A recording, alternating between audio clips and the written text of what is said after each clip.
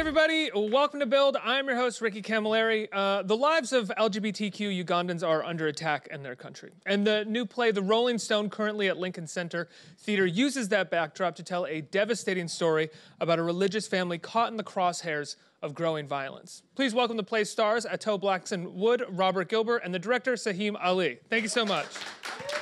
Ato. Atu, did I say did I did I say your name correctly? Atu. Atu, yeah. Thank you. I'm so sorry. It's All good. It happens all the time. Um, yeah, and he told me in the green room, and other people told me, and I had it in the prompter, and I still did it wrong. There's some, somehow there's a reason I have this gig. Um, guys, I love the show. Uh, congratulations! And one of the things that I was so struck by, outside of the brilliant performances by not just the two of you, but by the rest of your cast and the um, the incredible writing of the play uh, was the minimalism that go- that goes with the direction. Because the play itself is so dramatic and it takes place inside of a church or by a river and you do have the chance to sort of build out large sets of some kind that you want to. But you were just telling me that the playwright himself called for it to be as minimalist as possible. Can you talk about that Yeah, so Chris Urch, who's a playwright, actually calls for um, no set in the stage directions, which you know is um, a really challenging thing because there has to be something that the actors are on. So then it became about that interpretation of that minimalist impulse, like what would the floor be, what would the background be, um, what would the boat be if there was no set, you know. And so um, at Lincoln Center Theater, in the space called the Mitzi, um, which is kind of like in a thrust, it actually works beautifully because then there's a real sense of theatricality with the audience enveloping the stage, uh, being on like three sides of it. And so, um, usually in that kind of space, when you have objects that get in the way because you have to get them in and out, and there's no clean way to do that. So, the play lives really beautifully in that space as a result. I mean, for you as actors, that is not something that you're uncomfortable or not used to. You come up doing scenes without props a lot of the times, or doing them in black box theaters or in front of a classroom. But when you get to this point where you're in Lincoln Center, what does it feel like to be doing a play like this without any of those kinds of tools? Um, I, I mean, I guess this play specifically uh, lends itself to, to that because it's qu- it's so dialogue heavy. There's the the scenes are are very uh, heavy with argument or discussion.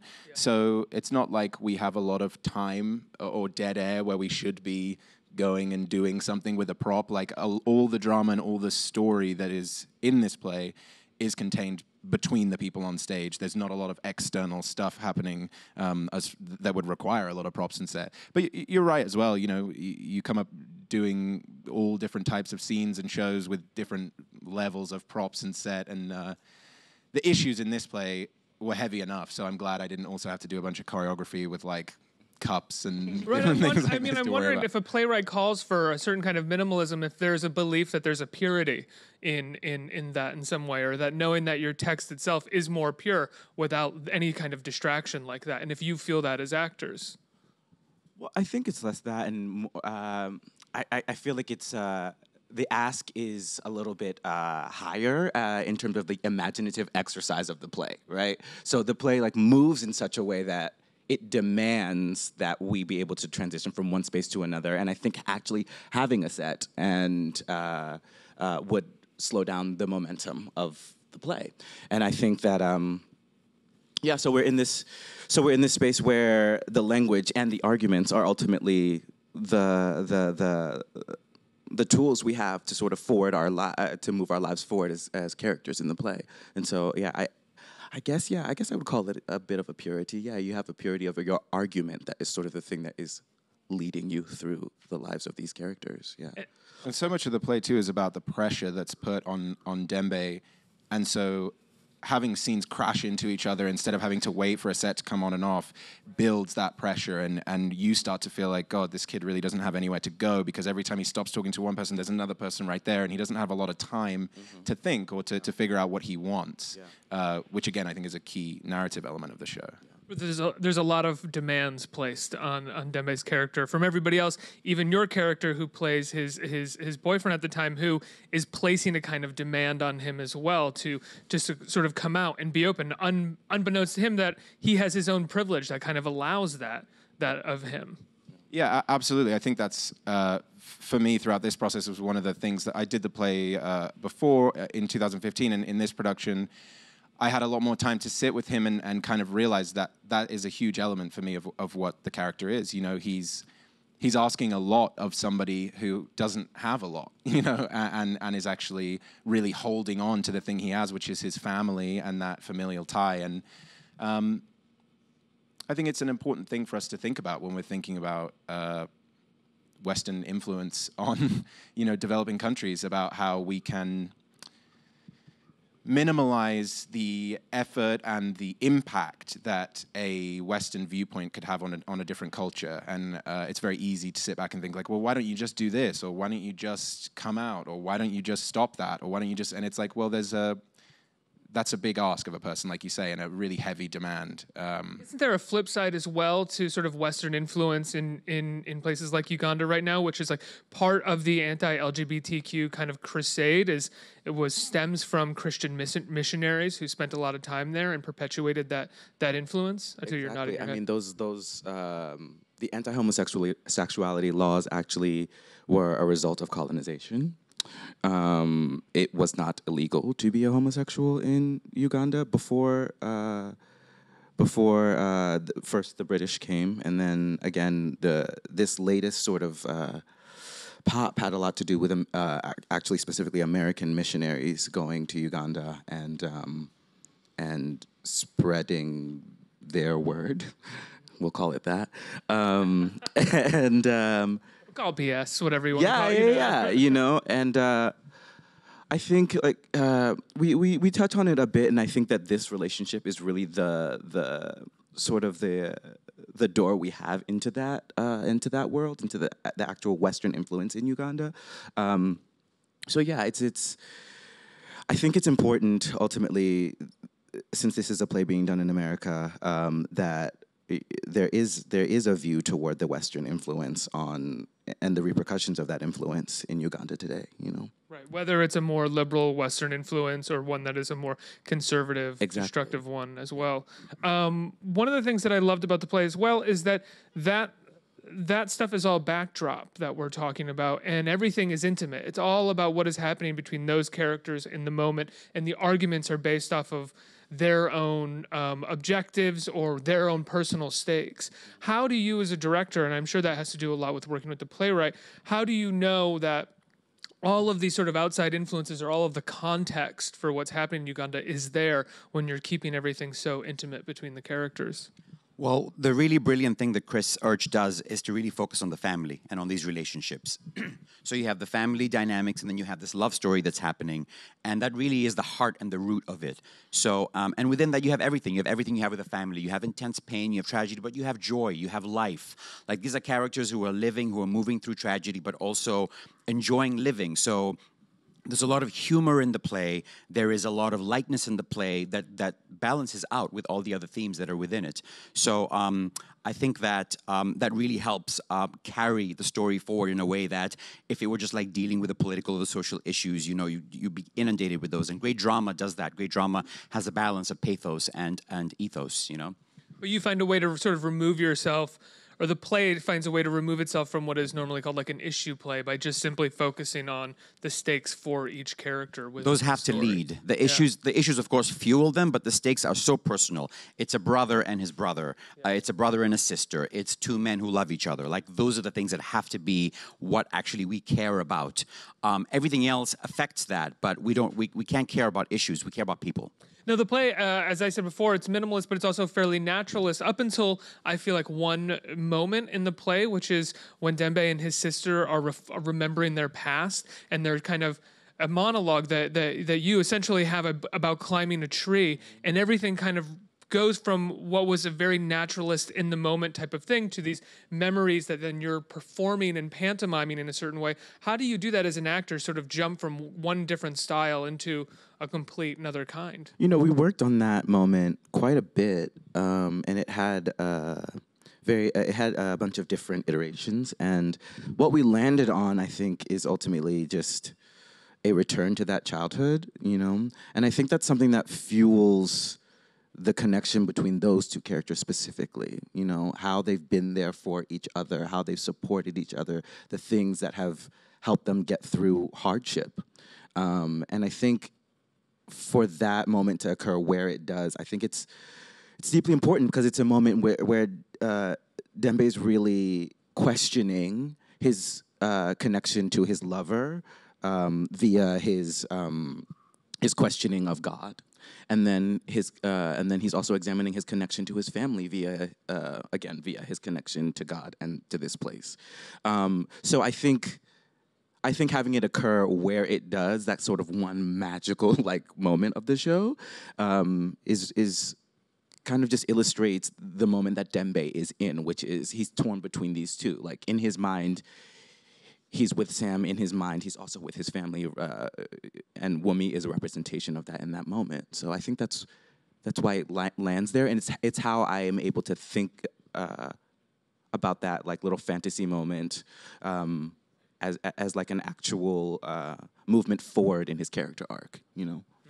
I want to come back and talk about uh, the connection that you have with the actress that plays your sister because I think it's really beautiful throughout the show, uh, and so much of it is what is, is in what is not said rather than what is just said in the play. But I, I want to ask about that moment as a director that we were just talking about, and um, Ato had said that there were many different iterations of that, and what is that like as a director? Because I'm wondering what that looked like on the page, how Chris had written that. Was it written to be surreal or as a reflective memory, or is that you guys in the rehearsal space? Seeing what you can do in this moment and finding something that maybe needs a little more of a surreal lift. Yeah, actually, in the text, the dialogue appears continuously as it does from the moment that precedes it and the moment that proceeds it. So there's no distinction that says this is a surreal lifted moment. I think it's exactly the same. So we actually demarcated like where the memory begins, where it ends, and then we explore different ways of um, of uh, realizing it. At one point, I think you were running around the room. Um, uh, like in a circle, chasing each other. I think we pantomimed like tree climbing at a certain point. We did everything. I'm so glad it's less physical now. As the don't have to like physical enough. do like a full on jog around the stage eight times a week. Nah, I'm good. yeah, but then like when you have like an extraordinary cast of actors, you can play, you can explore, and so Latoya and Ato were so willing to try like so many different things, and you saw how text heavy it is. Like it's like a word and a word; it goes back and forth. So you not only need to have those words like embedded in you, but then be able to like express them in different ways. So um, it was really rewarding because um, we had something like a gesture on the page that Chris had put, and then we were able to realize in a way that felt natural and interesting for us. I, I imagine that's something that you have to work out, though, within the context of the entire play as well, where you can't just sort of put that scene together, that piece together, and then it can fit in the show. You have to watch it within the show so many times to know exactly how it's going to work Absolutely, out. and that's why it changed. It changed in previews. It changed almost at the last minute. Yeah. It changed almost like right before we were we were freezing the show. Um, it just continued to to change because I, I think it there were there were there was a time in there where it kind of just felt like a, a hiccup i- in terms of the energy and and I think what we've landed on is something that we can all like ca- it, it- it helps us move forward like I said in, in the play so I think it's really lovely what we've landed on. Now, the re- the relationship with uh, the actress who plays your sister, I for- excuse me, I forgot her name. Wummie. Her name is Latoya Edwards, the actor. Yes, uh, she's wonderful. But like the relationship between the two of you, there is so much in it that is unsaid within the text. Does that come from a rehearsal period over time, just knowing your characters, knowing how to carry your characters? You know, I count myself so fortunate to have uh, Latoya to work opposite because we met um, right shortly after the cast was announced. We met at a show, and it was an immediate connection. Yeah, there's this sense of like, as a sister, she knows Dembe without having to say anything. Exactly. She understands everything about him, even if she doesn't know everything. Exactly, and I think we're we're both very fortunate also because uh, I think we are very each of us is connected to our siblings as well, and so I think that that lived experience was something that we were able to bring to that relationship. Um, I, I have three sisters and I'm very close to all of them. So they, for me, Wummie has become this like composite of all three of them, which is really special. And um, also just like looking, just Latoya is such an open and generous person. And so it's just like really easy to share that intimacy with her, you know? there is a sense we were talking about Western influence, but there is a um, suspiciousness that is felt, I think, from the other characters in the play when it comes to your character about your real motivation in terms of being over uh, in Uganda as a doctor. Can you talk about exploring that and sort of trying to maintain your characters not I don't want to use the innocence is the wrong word, but I would say um, right uh, objective, while other people are suspicious of that. Yeah, I mean, I, I think the suspiciousness is, is actually helpful because I don't think he is sure himself uh, why he is there. And, um, you know, the character was originally written as a, as a Caucasian Northern Irish doctor, and I had uh, read the script and I told my agent I wanted to go in for it. And I said to Chris and Ellen, who's the director of uh, the original production, I said, there's a chance here to talk about biracial identity a little bit and about somebody trying to find something by going back to the country from where their blackness comes from, uh, existing in such a Western space, especially Derry in Northern Ireland. And I've spent some time in Northern Ireland, and you know, I, I can imagine growing up there as a person of color is even more isolated than it is in other areas of uh, uh of the West. So. Um, that confusion and and that feeling that suspicion uh, I'm very cautious of speaking for people, but certainly for me, it is a daily occurrence in the in the life of somebody who is who is biracial. So for me, existing, you know, Artie was just talking there about the connection uh, with Latoya and, and the connection that Dembe has with Wummie, and the opposite end of that spectrum is that, um, you know, Sam is not a person who is super open and super. Um, you know, connected in that way. He's a person who feels very isolated, and you know, there's an imposter syndrome that comes along uh, at times with being a person from from two different cultures. And I think that's part of the reason why he's there. You know, he has a set of skills as a doctor to be able to help in an area that needs help, but it's also a chance for him to explore a side of himself that he feels disconnected from. Um, and uh, but that said, because as well, because of his sexuality and because of his relationship with Dembe, he is viewed as a suspect or maybe even as a predator in in some ways, which is not the case. But that's the way that. Uh, sure. Dembe's family sort of, or at least uh, his Wumbi, Wumbi, excuse me, yeah, Wummie uh, kind of suspects him of being at one point. Sure, yeah. I mean, I, I think that that. Um, Unless I misread that, which if I did, I'm no, so no, sorry. I don't think you did at all. I don't think you did at all. But I think that a sense wild of misread on my part. yeah. That was the case. no, you're accurate. no, no I, I think that that suspicion has layers to it. You know, I, I think that. Um, their sexuality is a danger to them in the situation that they're in. So it doesn't really matter what his intentions are. The fact that he is tempting her brother with a lifestyle, whether Dembe wants to engage in that or not, the fact that somebody is encouraging that side of him is a threat, possibly to his life. So it doesn't really matter what Sam's intentions are. The fact that he is, as he would be classified in that area of the world, a, a white person, it doesn't help. Uh, and the fact that, um, you know, the fact that he seems to be here as part Ugandan and, and sort of a, a, slight betrayer of that culture is another layer to that suspicion. Um, so yeah, I mean, you're accurate that there's definite, definitely a suspicion of him by all of the characters in the play, even Dembe at times. Um, but to be honest, as, a, as an actor, that's really useful, and it's not difficult to draw from my lived experience to understand that feeling and and and feel that. And I think it's I think it's valuable for people to see. You know, I, I, don't think that it's an issue that's discussed a lot. There's so many issues in this play that uh, take precedent over that one, rightly so. But um, but it's great when it comes up because it's an unexpected question to throw into this play that already has such high stakes, as you said. It's just such a smart little curve to, to, yeah. to be tossed in. And, and I feel like the reaction I get from people in the audience about that moment is a teller of how undiscussed that issue is. Um, the rest of the play seems to take a pretty clear stance on whether or not it's okay to be gay or whether or not it's, you know, that's not really an issue that's up for question. But uh, people often say to me, like, so is, like uh, people often ask me, is he lying? Is his mother really Ugandan or is he lying? You know, that's something I hadn't even thought about before I started doing the play. Um, but I think there's a natural suspicion or a natural questioning that um, people who aren't as easy to box up are subject to. Uh, that maybe others aren't. And I think that the audience reaction has has even shown that. You know. Also, just like in the context of our our world, like I think it would not be unrealistic for Africans to be suspicious of people from the West, just like Absolutely. generally. Exactly. Period. Yeah. Like what has happened on that continent? Like, you know? those who are there to help, whether they were having a relationship with a man or you, he was straight and having a relationship with an African woman, I think there would be yeah. suspicion of the same kind. Exactly. That's what I mean about layers. There's just so much. Sam represents so many things, and especially because he's the only character in the play. It's you know, he he he represents all of those things in one.